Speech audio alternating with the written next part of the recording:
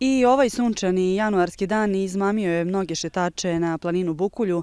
Neko je prijenuo stazama kroz šumu, neko asfaltnim putem, neko pak kolima do vrha Bukulje, ali je i danas planina Bukulja zaista prepuna oni koji su želeli da provedu dan u prirodi.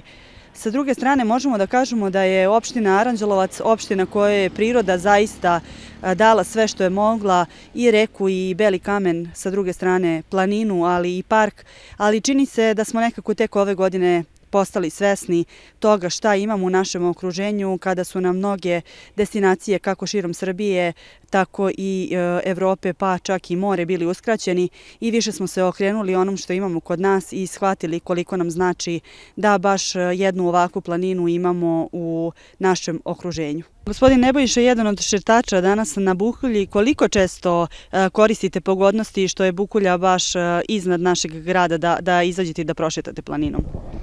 Pa uvek kad imam slobodnog vremena, recimo uglavnom vikendom dva puta, subotom i nedeljem, nekad i radnim danom kad stignem. Nije to pravilo, ali težim svako, svaki 3-4 sata kad imam vremena, ja izađem ovdje prošetam. Koliko je značajno za nas da budemo aktivni i da šetamo? Koliko vama u stvari to pomaže? Pa, pa meni znači mnogo. To je priroda, vrlo je blizu. Znači, blizu našeg grada. Ako idete okolo, treba vam jedno sat i po dva. Ako idete preko dva sata iz grada, ne puni dva sata o zelene pijaci, tako čas postaste u drugom svetu. Da li volite da šetate sami, da koristite mir i tišinu ili nekada imate i društvo? Pa kako kad, kad ima društvo idem sa njima, kad ne i ovo drveće lepo društvo i šuma i neke srne koje prelete i ptice i tako. Dosta toga može da se vidi. Jel e, od ozda, od podnožja izađete skroz peške ili negde ostavite kola? Pa znate šta, desi se nekada da sam umoran malo pa dođem do pola kolima, ali uglavnom iz grada peške. Iz grada peške, znači pola sata od zelene pijace do početka ove pešačke stase. I posle... Da li negde napravite pauzu? Pa napravim na vrhu gore, popijem kafu, malo gledam, uživam gore i veća nadmorska visina i druga klima i sve drugačije. Pogotovo leti, 6-7 stepenije, gore hladnije. Maja je iz Beograda, ali danas je iskoristila dan na Bukulji. Zbog čega ste baš izabrali Bukulju danas? Pa već sam, učlana sam se u planinarsko društvo, ali tad nisam uspela, ovaj, kad je bila tura, nisam mogla. I onda mi je palo na pamet, pozvala sam i kumove i došli smo zajedno, ovaj, ali muževe smo ostavili u restoranu, a nas dve pešačimo. I ovaj, tako, mislim da je to jako dobro. Evo, ja sam sad, koliko godina već imam, krenula sam u planinaranje, jako sam srećna zbog toga.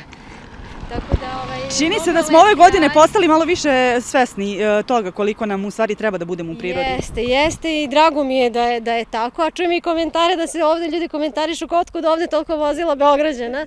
U stvari Beograđani su krenuli i po Srbiji i već poznajem puno ljudi koji idu i drago mi je zbog toga i cveta nam i seoski turizam i tako dalje i tako i treba na kraju krajeva. Kažite nam samo, jeste li ostavili kola negde ili ste od podnože? Dole, negde usput skroz dole, da.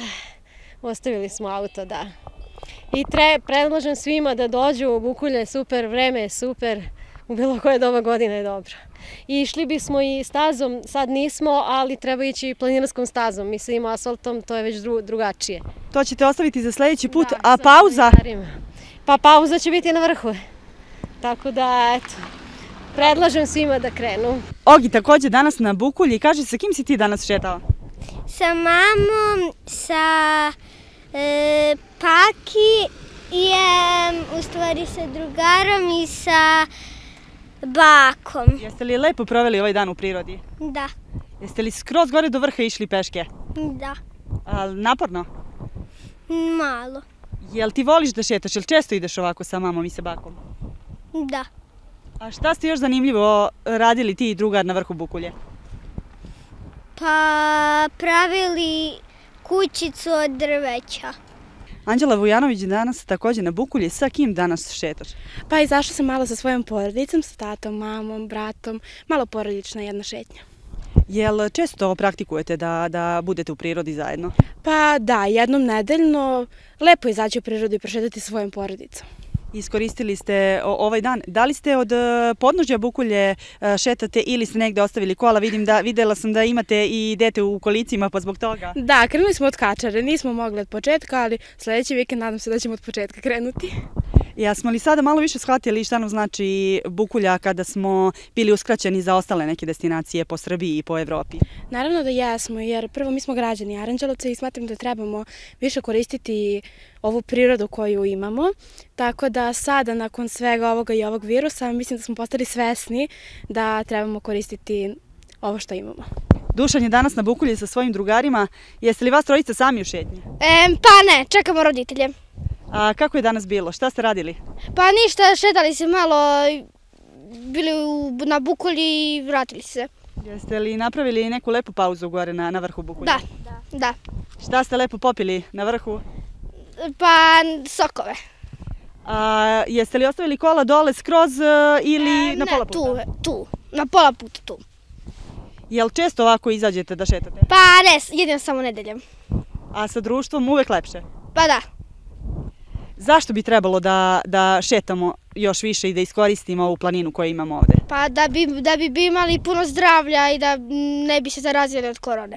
E, Mladen je danas želeo da pokaže svoje devici Fernande iz Argentine e, planinu Bukulju. E, Your impression? Yeah, it's really nice. I really liked it. We've been hiking from the town, so yeah, it, the view is also also super nice here.